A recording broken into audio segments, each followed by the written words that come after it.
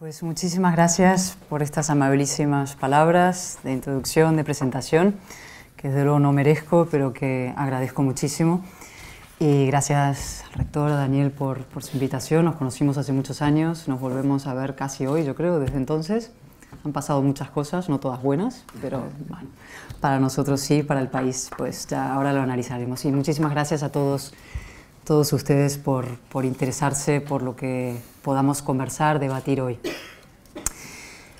Voy a empezar con una breve eh, introducción biográfica para completar algunas de las cosas que amablemente ha dicho Pepe, para, para que sepáis un poco de, de dónde vengo. ¿no?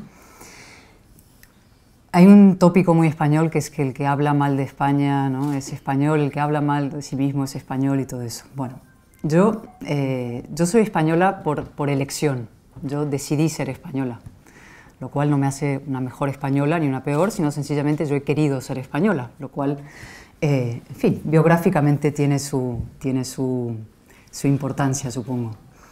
Como mi acento delata, soy de madre argentina, medio argentina, he vivido en Argentina muchos años. Mi padre eh, era francés, de una familia española.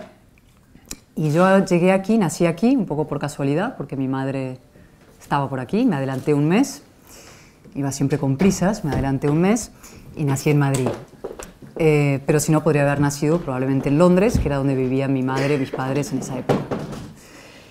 Y mm, luego volví a España, venía mucho a Soria, a un pueblecito, a Medinaceli, a pasar los, los veranos y las navidades, pero no volví a España de verdad hasta ya un poco una cierta edad, con 21 años, 22 años, cuando estaba haciendo un doctorado sobre historia española que como contaba Pepe, lo hice con un maestro, con John Elliot, que es un maravilloso hispanista, un gran historiador, que está aquí en Madrid, por cierto, estuve tomando un café con él esta mañana, tiene 83, 84 años, sigue tan preocupado por los asuntos españoles como siempre, y tan lúcido como siempre.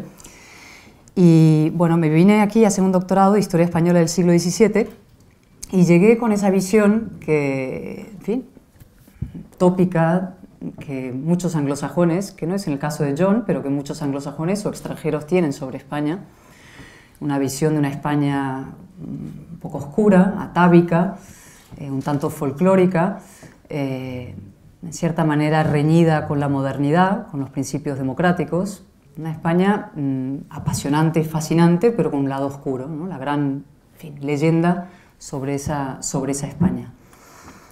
Y llegué aquí con esa visión como historiadora para eh, trabajar en los archivos de la Casa de Infantado sobre un personaje del siglo XVII, Juan de Palafox y Mendoza, y descubrí en esa experiencia de esos años historiadora y luego empezando a tener contacto con la vida pública o la vida civil de Madrid, de España, de esos años, todo lo contrario. Descubrí a través de los, libros y los archivos la impresionante historia española eh, de reconciliación, el inmenso esfuerzo que a lo largo de 500 años de difícil historia en común ha ido haciendo España y los españoles para eh, conseguir algo que es muy difícil y que probablemente sea el gran asunto de la modernidad, que es vivir juntos los distintos. Somos una nación muy diversa, somos una nación eh, mucho más plural que muchas de las otras grandes naciones del mundo, en muchos sentidos, no solamente en lo castellanos y catalanes, o gallegos y andaluces, etcétera, sino también en, ya en la modernidad republicanos, monárquicos, ateos, creyentes, etcétera.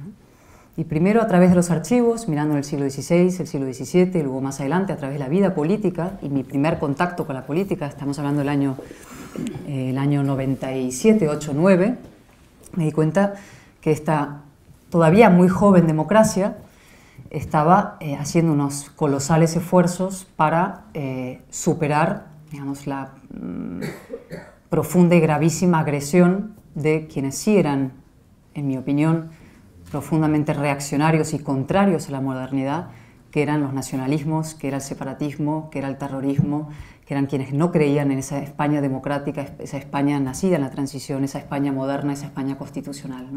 Que ese esfuerzo de 500 años de ir a intentar reconciliando la, diversidad profunda de España en, un, en una España que fuera eh, eso, en una paz civil española, que es en definitiva nuestra constitución, ese enorme esfuerzo de 500 años estaba siendo atacado profundamente por elementos reaccionarios. Y así fui, de una manera u otra, estoy haciendo una síntesis un poco burda quizá, pero, pero real, eh, digamos, apasionándome por la política y por España. Cuando terminé la tesis doctoral, eh, decidí empezar a trabajar en un periódico, el periódico El Mundo entonces, como editorialista, metiéndome cada vez más en la política y en un momento dado decidí dar el paso abiertamente a la política.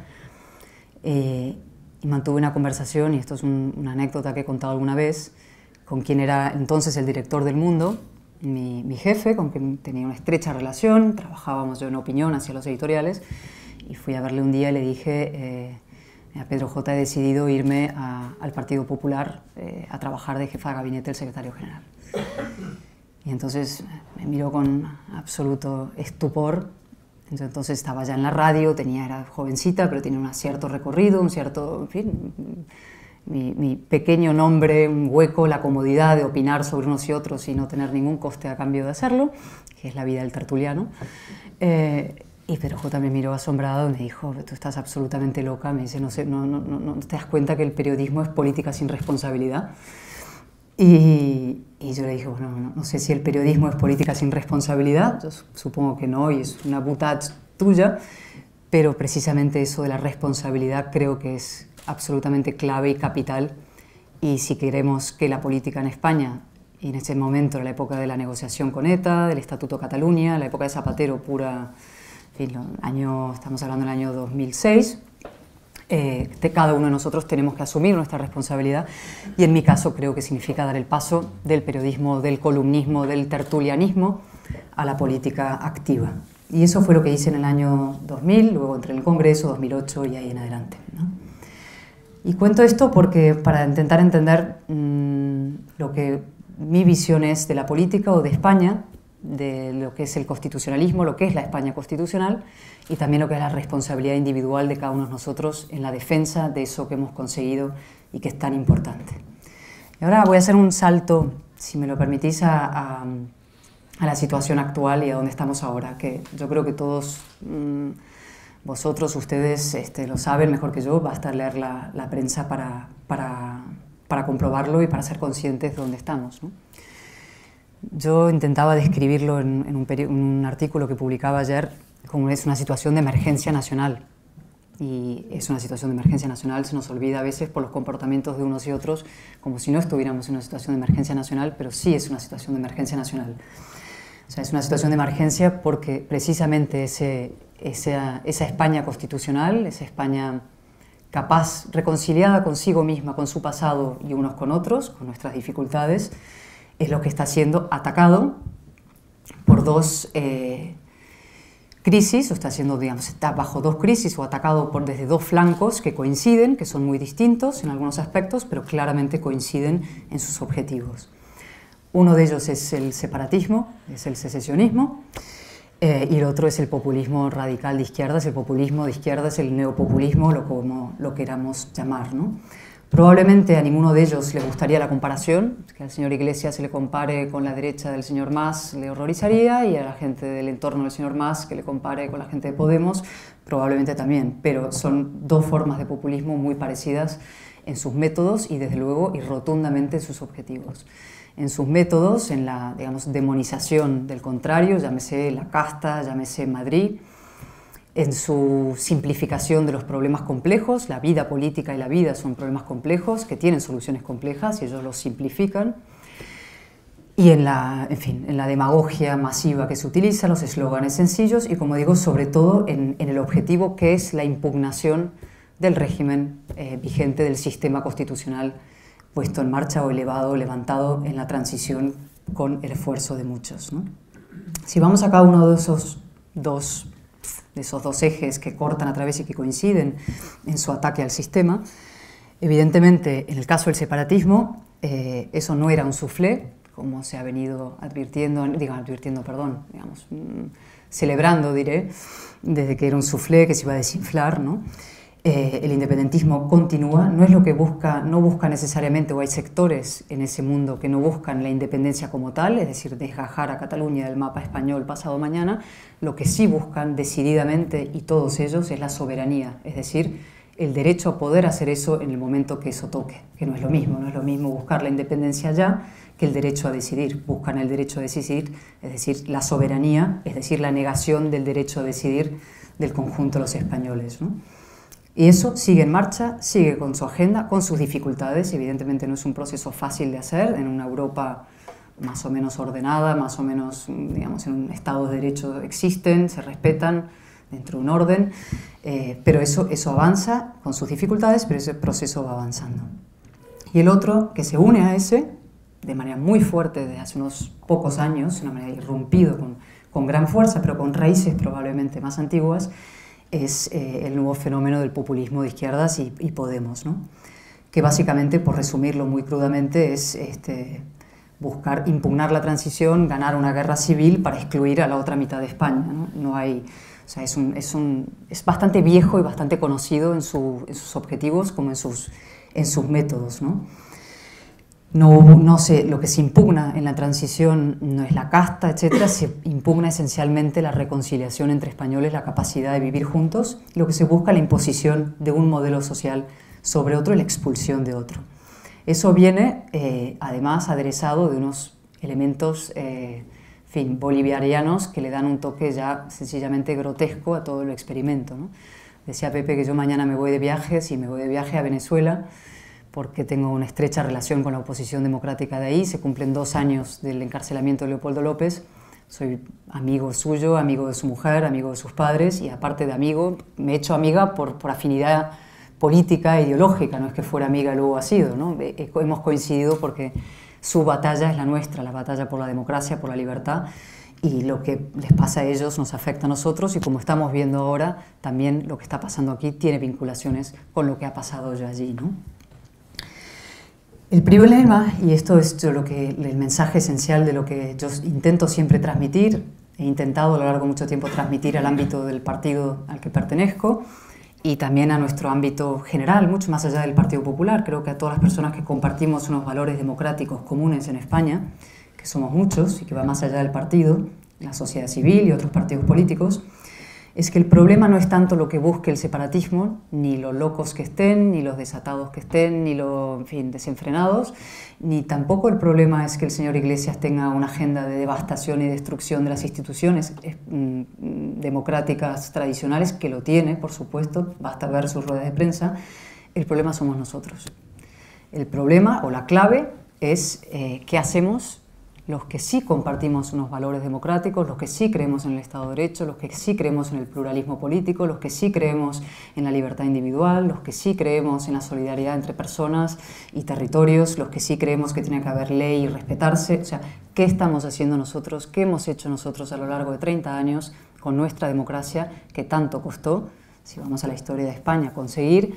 Y, y que tan frágiles, porque las naciones, los estados, eh, no alcanzan la libertad y la democracia para siempre, son objetivos, no son, no son objetivos que se consiguen y puntos, son horizontes hacia los cuales hay que trabajar permanentemente. ¿no? ¿Qué hemos hecho nosotros y qué estamos haciendo? Y ahora voy a hacer un poco otra vez hacia atrás. Yo creo, y esto lo, lo, he dicho públicamente, y aquí creo que hay que hacer un mea culpa colectivo, eh, todos los partidos, pero unos más que otros, desde luego. Yo creo que aquí la izquierda tiene una responsabilidad eh, capital y gravísima vinculada asuntos que podemos debatir luego de la historia, ¿no? Pero frente al separatismo, frente al nacionalismo, por llamarlo como es, eh, la historia de estos 30 años ha sido la de una, de una gran abdicación por parte del Estado y los partidos nacionales, y de las instituciones del Estado y la sociedad civil nacional. Hemos, todo entre todos, unos más que otros, insisto, cada uno tiene lo suyo, convertido el nacionalismo en el único interlocutor válido de determinadas comunidades autónomas, la sinécdote, o sea, escoger la parte por el todo, eso se ha ido imponiendo de una manera total, hasta el punto que en el Congreso de los Diputados yo he asistido a debates cuando el presidente de la Cámara da la palabra a un grupo nacionalista catalán, dice el grupo catalán tiene la palabra, cosa que no es el grupo catalán quien tiene la palabra, tan catalán como ese grupo de Convergencia y ahora Convergencia barra ya una Unión, Democracia y Libertad o como se llamen, eh, tan catalán como ellos son los diputados catalanes del Partido Popular o del Partido Socialista o de quien fuera. ¿no? Lo hemos convertido, insisto, al nacionalismo, en interlocutor válido único de esas comunidades durante mucho tiempo.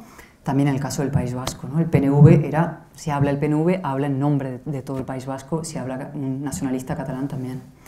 En segundo lugar, por supuesto, la entrega de la educación, de la cultura a los medios de comunicación, eso es manifiesto y evidente, basta ir a, Cataluña para comprobarlo, o sea, la entrega ha sido, ha sido devastadora en sus consecuencias en términos de, digamos, de, la, propia capacidad de la oxigenación del sistema cultural y mediático y educativo en Cataluña. El tercero ha sido las sesiones estructurales a cambio de apoyos políticos puntuales. Eso, todos los partidos han caído en eso y de manera muy dramática eh, el señor Zapatero, que ya llega directamente a la reforma de un estatuto que rompe las fronteras del sistema constitucional, hasta que llega el Tribunal Constitucional a limar parte de ello, pero a cambio de unos apoyos puntuales. Y luego dos asuntos muy importantes para mí, desde luego, que es, en primer lugar, mirar para otro lado ante la manifiesto, digamos, este, corrupción masiva que se estaba produciendo en Cataluña o que producían las principales familias o la familia y su entorno dominante en Cataluña durante mucho tiempo, probablemente porque no convenía digamos, quitar a ese interlocutor del, del, del juego político nacional. Y el más grave, en mi opinión, aquí de todos, es el abandono de la resistencia constitucionalista que ha existido en Cataluña eh, de manera mucho menos visible que en el País Vasco, porque en el País Vasco mataban a la gente y por tanto había gente que moría y por tanto había cadáveres a los que había que velar y a los que había que proteger y aún así costó mucho en España velarles como Dios manda y dignamente, pues en el caso de Cataluña ha habido una resistencia constitucional pero completamente sofocada, apagada, no solamente por el nacionalismo de allá, sino por el absoluto desinterés eh, que ha habido en el resto de España respecto a ellos. Y os daré un pequeño ejemplo como anécdota hace, en esta asociación que montamos hace un tiempo, algunas personas libres e iguales se llama, empezamos a decir que bueno, vamos a, entregar, porque no pidamos, hagamos un homenaje a, a, la resistencia catalana en la figura de Albert Boadella, que ha sido, digamos, un defensor del constitucionalismo durante mucho tiempo, o desde luego un enemigo feroz del nacionalismo. Y se nos ocurrió, vamos a pedir para él la medalla al mérito constitucional. Y empezamos a averiguar en los papeles en el BOE. Nos costó cinco días que el gobierno nos mandara los papeles del BOE. Por fin conseguimos a través nosotros de una web, etc. Y descubrimos que a lo largo de los, desde la época de Felipe González, que se entrega la, medalla al mérito constitucional, ni un solo catalán constitucionalista había recibido esa medalla. Muchos vascos, lógicamente, por lo que os decía antes, pero catalanes, quien sí lo tenía era el señor Pujol, pero no había eh, ningún catalán de la resistencia, que sí existen y que sí han intentado batallar en la más absoluta soledad durante 30, 40 años por los valores constitucionales que la había recibido. La pedimos públicamente para el verbo ella y seguimos esperando que alguien haga algo. Eso en el, caso de Cataluña de estos últimos años. Ese desafío, la idea de que la abdicación o el apaciguamiento y la manera de ir gestionando el separatismo ha fracasado como estrategia, ha quedado en evidencia que ese fracaso, o sea, la famosa, digamos eso, del apaciguamiento, la mano izquierda, ha redundado o ha desembocado en la situación en la que estamos ahora de deslealtad abierta y manifiesta a nuestro sistema constitucional.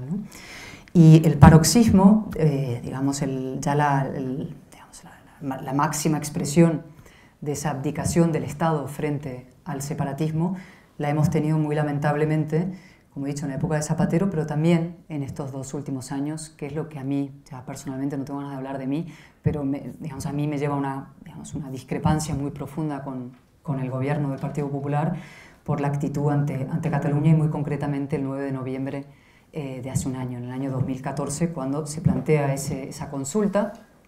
Eh, teóricamente no vinculante, pero con una fuerza política evidente, y el Estado decide, por cálculo, por táctica, no actuar, no actuar en esa ocasión, lo cual causa, yo estuve en Barcelona todos esos días, lo viví, eh, no hace falta haber estado para vivirlo, un profundo desamparo, una sensación de desamparo para las personas que no son nacionalistas que viven ahí, que son muchas, que no sienten la protección ni la presencia del Estado como garante de sus derechos y de sus libertades, y por supuesto desamparo en el resto de España que ve cómo se puede producir un desafío, una chulería de esa magnitud delante de todo el mundo, eh, sin que el Estado, que es, insisto, lo que tiene que proteger nuestros derechos y nuestras libertades, actúe y tome las medidas eh, pertinentes.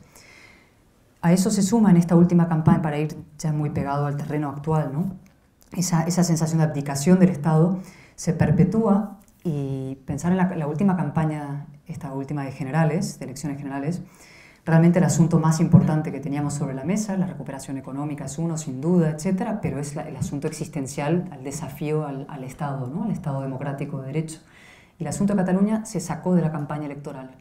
Ninguno de los partidos políticos con opción a gobierno, ninguno de los cuatro con opción a gobierno o formar coalición de gobierno, hizo del asunto del desafío separatista un eje de su campaña electoral.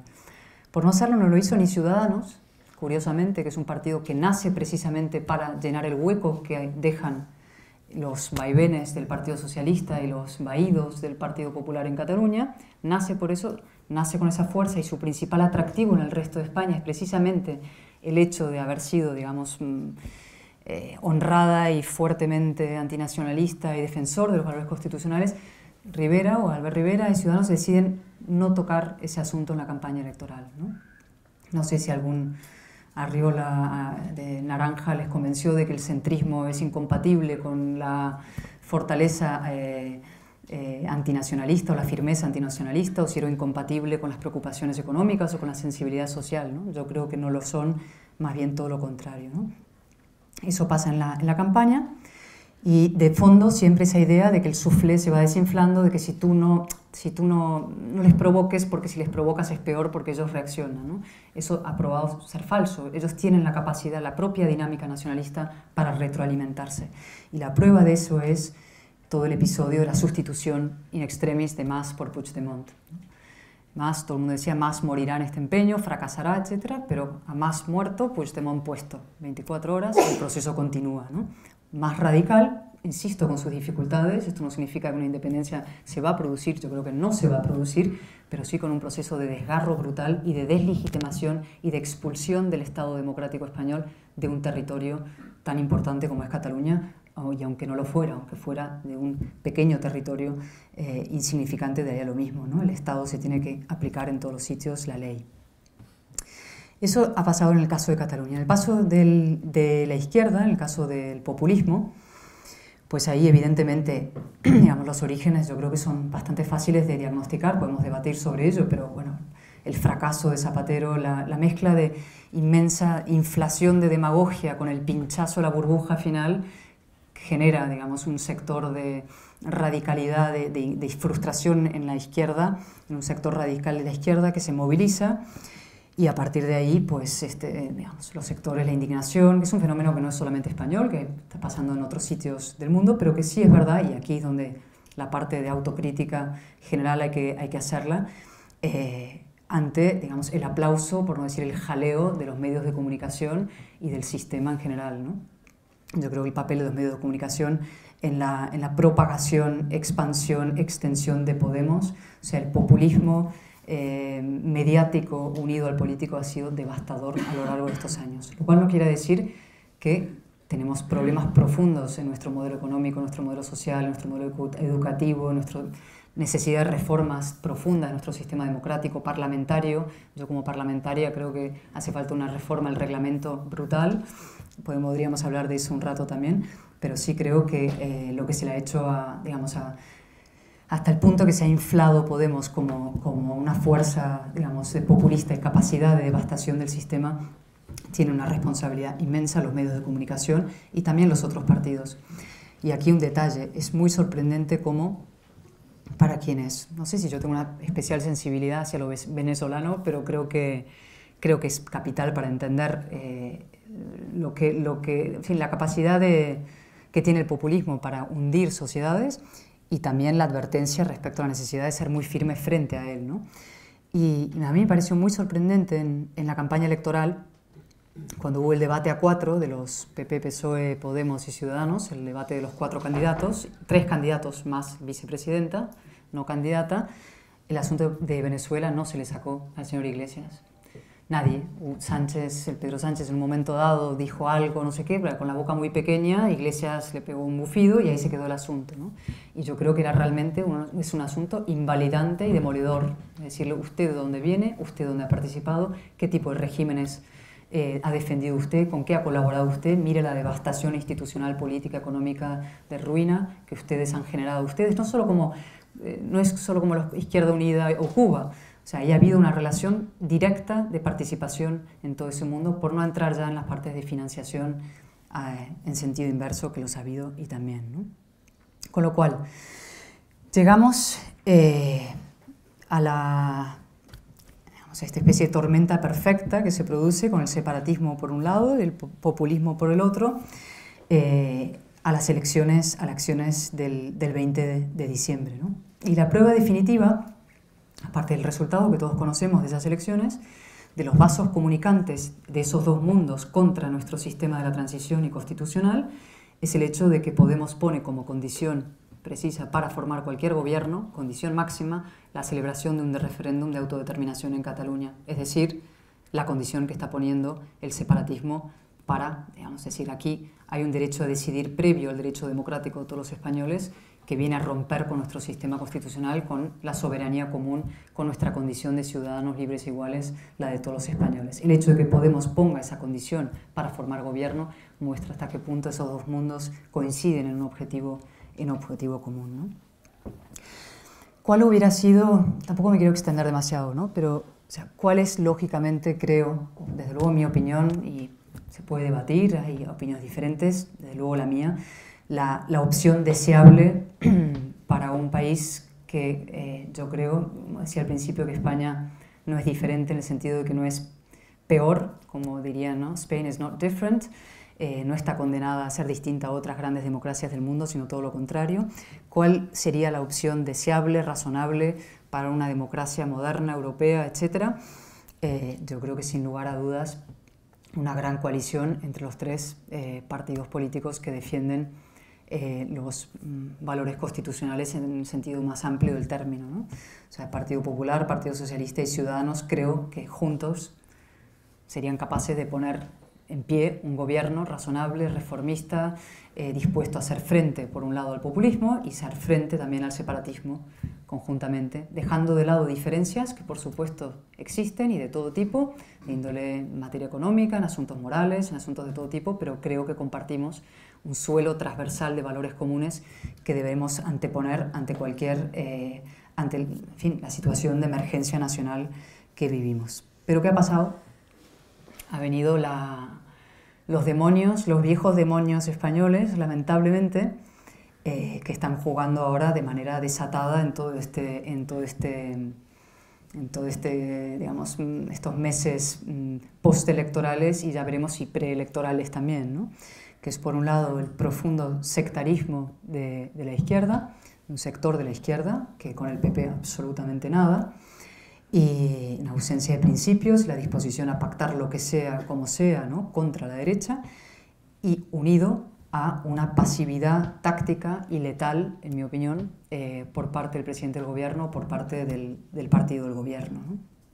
Yo intentaba explicarlo en un artículo ayer o anteayer, no me acuerdo cuándo, en mi opinión, eh, digamos, y aquí uno siempre conoce mejor a lo propio y sufre más a lo propio, porque uno quiere que los suyos lo hagan bien, uno da por hecho que los de enfrente lo harán peor, pero te importa y te, y te, y te duele más cuando, cuando los tuyos lo hacen mal o cuando no lo hacen como, como quisieras o crees que es bueno que, que se haga. ¿no?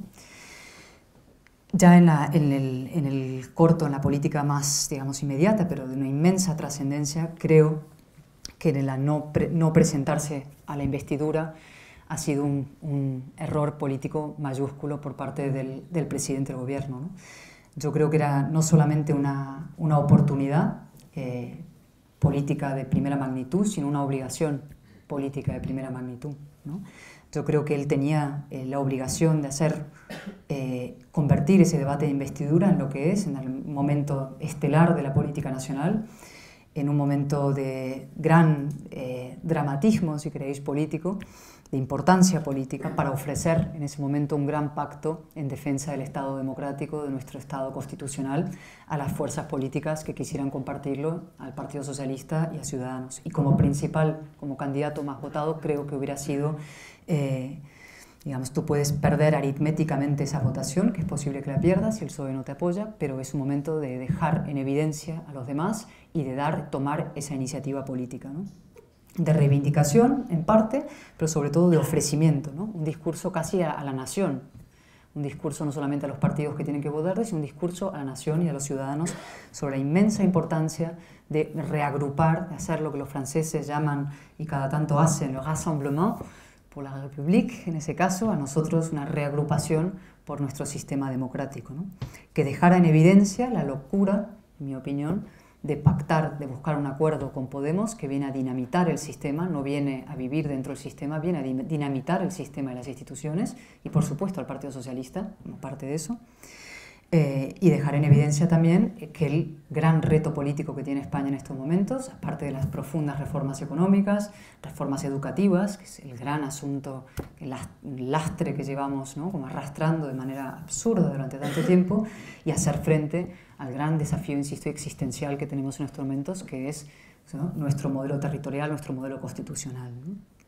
Pero ahí creo, insisto, que se cometió un gravísimo error un error fruto del tacticismo y del cálculo y de pasar palabra y esperar a que haya nuevas elecciones a la espera de que al no presentarse, digamos, al no, no, haber, no, no perder esa investidura, ir a unas nuevas elecciones en las que hubiera una polarización fuerte del Partido Popular y Podemos que hiciera que mucho voto que se hubiera ido antes a Ciudadanos volviese al Partido Popular el PSOE perdiera votos frente a Podemos y el PP subiera. ¿no? O sea, la, estrategia, creo que el cálculo que detrás de la decisión de no presentarse es ese. ¿no? Vamos a nuevas elecciones, es lo más conveniente.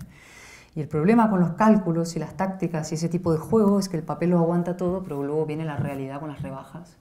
Y entonces la realidad es que pierdes la iniciativa política y se la entregas a otro, que ahora sí tiene una iniciativa política, que nos puede gustar más, menos y probablemente nada, pero que la tiene y luego que pueden pasar cosas que afecten a tu fortaleza electoral. Llámese que estalla un caso de corrupción masivo en Valencia, llámese que estalla otro caso en Madrid, que puede dimitir la presidenta del Partido Popular en Madrid, y entonces de pronto eh, tus cálculos electorales este, van, eh, hacen aguas. Ese cálculo que tú hiciste acaban haciendo aguas.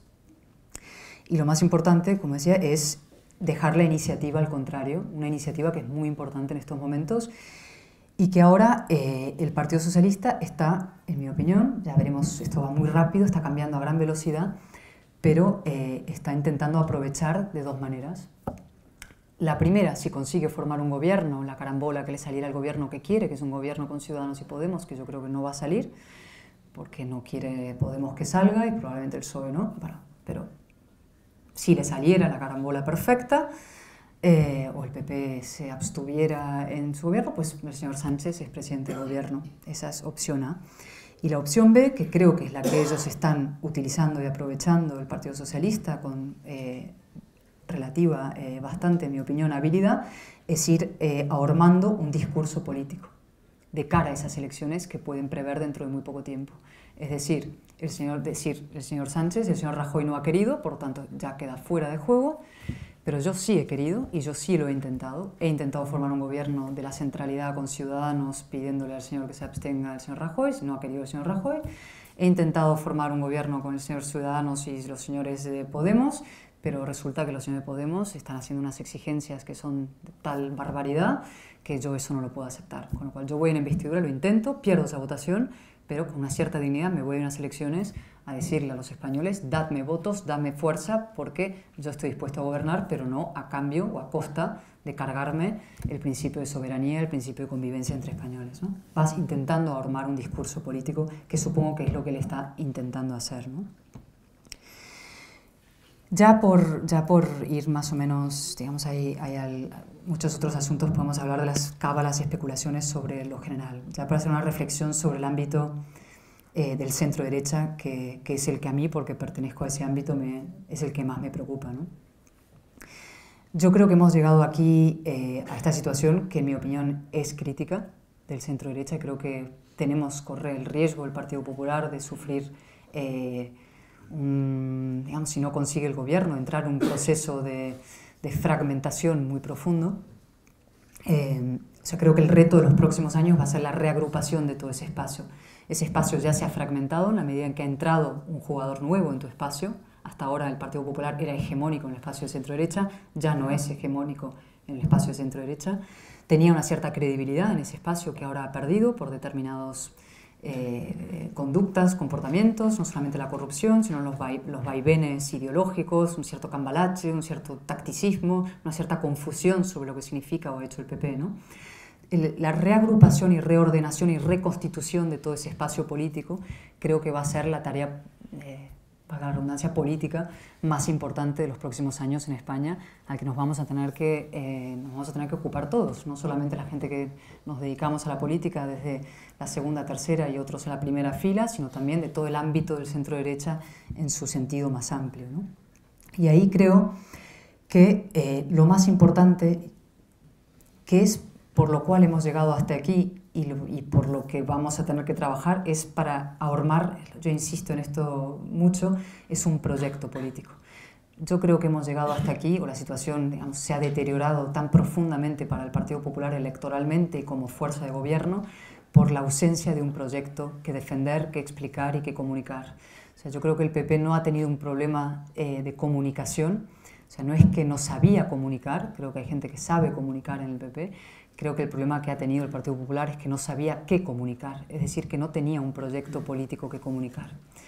Los orígenes de ese lento declive del proyecto del PP creo que pueden situarse en un momento, si hay que elegir un momento, es en el Congreso de Valencia el año 2008, cuando se toma la decisión de abandonar una determinada eh, línea del PP y, digamos, aparcar las ideas y lo ideológico y los perfiles para intentar, digamos, confundirse más dentro del paisaje y agradar más. ¿no? Era, una especie de, hay todo un discurso sobre, sobre, sobre la necesidad de aparcar los principios para ser eficaz electoralmente. ¿no? La idea de que eh, lo moral no es lo eficaz, cosa que yo rebato constantemente. Yo siempre digo que lo moral es lo eficaz y sobre, todo en política, cuando se abandona lo moral, los principios, se suele acabar además eh, siendo derrotado en las urnas.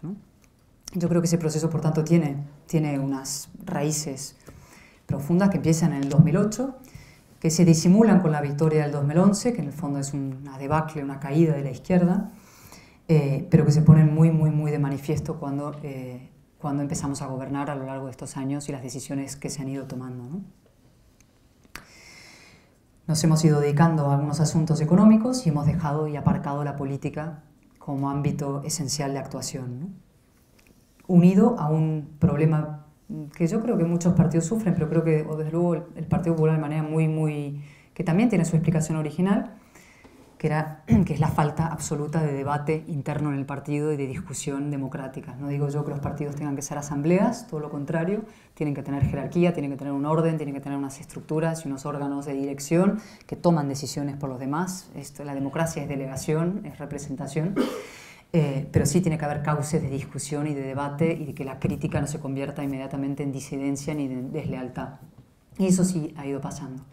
Ha habido un proceso estos años, en paralelo, de abandono del proyecto político, de las ideas que mantienen unidos a un grupo o a un colectivo, con un progresivo blindaje cada vez mayor de la cúpula del partido, con lo cual no ha habido ni siquiera capacidad ni cauces para que hubiera un debate y una reflexión sobre ese proyecto que no había o sobre el que, el que debía haber. ¿no?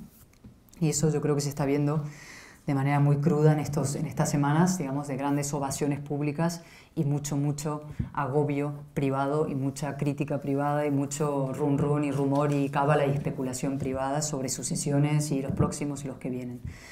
Yo lo único que me parece ya para, quizás un poco para, para terminar, eh, me parece que lo esencial, insisto, en estos momentos, va a ser la reconstitución de ese espacio político, como un espacio político capaz de hacer frente a los grandes desafíos, al populismo que viene con fuerza, populismo de izquierdas, al separatismo que continúa y con fuerza, a los, por supuesto, a los retos, la, digamos, mm, fragilidad de las clases medias en estos años, a intentar potenciarlas, los asuntos de la educación, hay muchos, podemos hablar de cantidad de asuntos, la justicia, por supuesto, y tantos otros.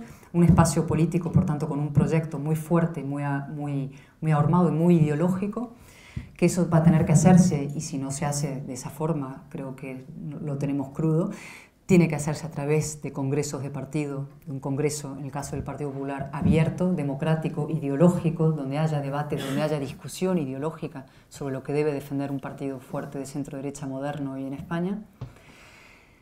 Y que ese, ese proceso de reagrupación de todo ese espacio tendrá que incluir, de alguna manera, ciudadanos y que eso, eh, bueno, ya se verá lo que pasa. Insisto, si ese proceso dentro del PP no se hace, puede haber una profunda fragmentación que haga que Ciudadanos acabe tomando la iniciativa y sea, siendo quien lidere ese proceso de recomposición de ese espacio.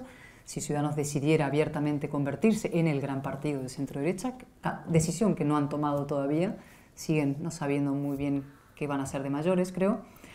Eh, podría ser Ciudadanos y si el partido propio Partido Popular es capaz de con un liderazgo integrador lúcido y sobre todo con un gran proyecto político ponerse en marcha ya, ser capaz una vez más de digamos, avanzar hacia el centro político y crear la gran fuerza que une todo lo que está a la derecha y a la izquierda, que fue como se definió a sí mismo el PP en los años 90.